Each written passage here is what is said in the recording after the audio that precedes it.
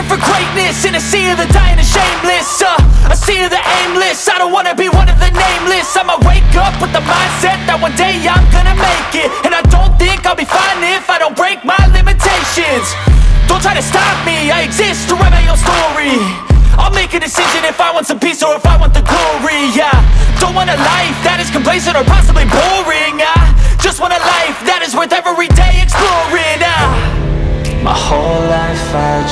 wanted someone who would notice me My whole life I just wanted to be somebody to be Yeah, I just wanna be great Yeah, I just wanna be great Yeah, I just wanna be great यार साहिर साहब आप लोग ये protest पे क्यों खड़े जा रहे हैं इसके बारे में बताइए देखिए पिछले कई दिनों से कर्नाटक के उडुपी वगैरह दूसरे शहरों में जो मामला चल रहे हिजाब को बुरके को लेकर, ये उसके खिलाफ हमारा एक पहला दिन का एहतजाजी समाजवादी पार्टी का एक मुख्तसर सा एहतजाज है।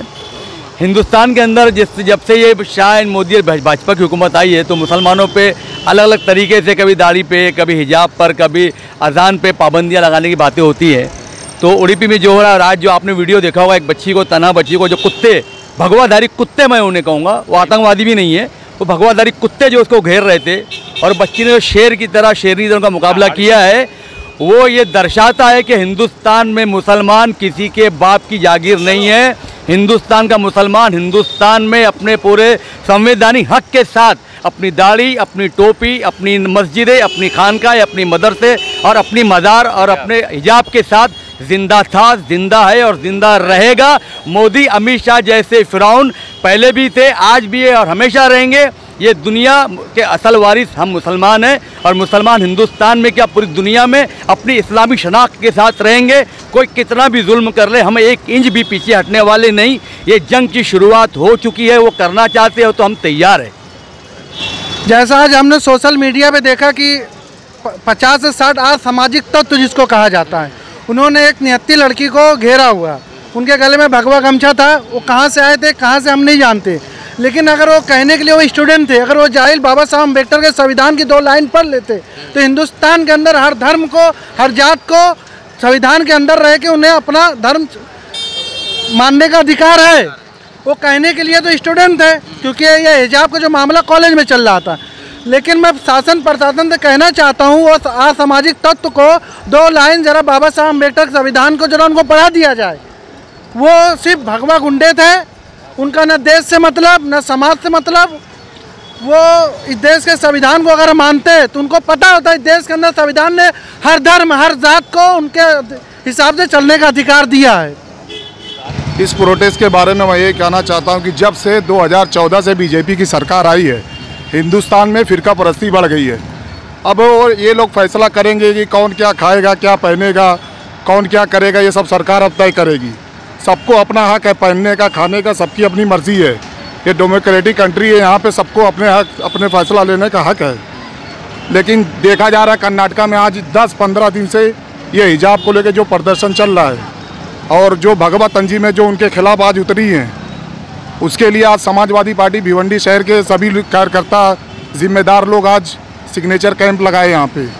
और आमदार रईस से एक एक मैं रोकना चाहूँगा ये कैंप सिर्फ़ इधर है कि भिवंडी के और कई इलाकों में? नहीं ये भिवंडी के और इलाकों में है। आमदार रईस शेख साहब के हुक्म पर हर जगह ये कैंप चल रहा है और आगे चलता रहेगा। जब तक ये ख़त्म नहीं होगा जब तक समाजवादी ये संघर्ष जारी रहेगा।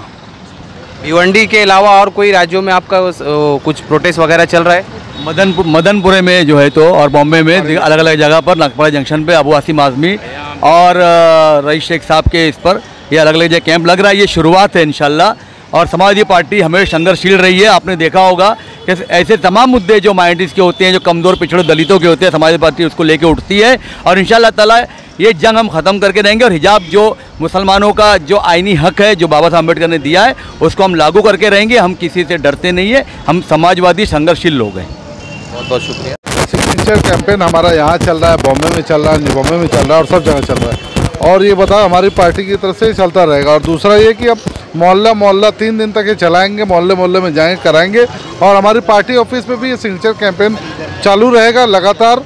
और इसको हम प्रांत को देंगे और सेंट्रल गवर्नमेंट तक पहुँचाएँगे। ये जो 2014 से जो सरकार आई है ना, उनके कान पे जूं तक नहीं देख रही है। ये अभी रोड रास्ते से निकल के स्कूलों तक पहुँच चुके हैं। इनका अभी तो इनकी लिमिट ख़त्म नहीं हो रही है। घर के प्लेट से लेके स्कूल तक पहुँच गए। अब बस इनका टाइम पूरा हो चुका है। पाप का घड़ा भर चुका है। गलत हो रहा है। इसके ऊपर सरकार को, सभी को सभी को इस पर हावी होना चाहिए कि ऐसा नहीं होना चाहिए। हम लोग हिंदू मुस्लिम एक है, हम लोग हिंदू मुस्लिम से एक साई हम लोग है, भाई भाई। ये जो कर रहे हैं, उसके ऊपर कार्रवाई होना चाहिए। अगर कार्रवाई नहीं होता है तो हम लोग धरना मोर्चा देंगे। हम लोग इसको जड़ से जड़ कार्रवाई कार्रवाई मांग करेंगे। देखिए, जो हिजाब के ऊपर से कॉलेज में लड़के लोग प्रोटेस्ट कर रहे हैं बाहर बैठे, वो देख के हमको बहुत तकलीफ़ होती है। और ये हिंदुस्तान मतलब सबका अधिकार है। अब हम हम मुस्लिम हैं, हमको हिजाब में ही बाहर निकलना, ये हमारा बुरका, हमारी पहचान है। तो मैं सब, जो जो लोग इस पर आवाज़ उठा रहे हैं या इनको सपोर्ट कर रहे हैं, भाजपा के लोग हैं, जो मतलब दूसरे लड़कियों को भगवा का दुपट्टा डाल के कॉलेज भेज रहे हैं, उनको इस चीज़ में बढ़ावा दे रहे हैं। बाकी चीज़ पे तो कर रहे थे तो समझ में आ रहा है कि लोग मतलब हर चीज़ को राजनीति में ले रहे हैं। तो बच्चों की शिक्षा पे भी ये चीज़ आ रही हो तो वो देख कर हमको अच्छा नहीं लग रहा है और ये सब चीज़ देश में नहीं होगी तो ज़्यादा बेटर है, क्योंकि वो पढ़ाई के ऊपर से, शिक्षा के ऊपर से इस चीज़ को दूर रखा जाए तो अच्छा है। इसमें भी राजनीति, हिंदू, मुस्लिम, भगवा ये सब अब ये जो लोग बच्चे स्कूल जा रहे हैं, अब उनको भी चीज़ में मतलब डाला जा रहा है। ये सब गलत चीज़ है और ये चीज़ के लिए हम लोग आवाज़ उठाएँगे और मैं जितने भी राजनीति के लोग हैं, उनसे भी ये अपील करती हूँ, आप लोग भी सामने आए और इस चीज़ को हम लोग मजबूती के साथ में आगे बढ़ाना चाहते हैं।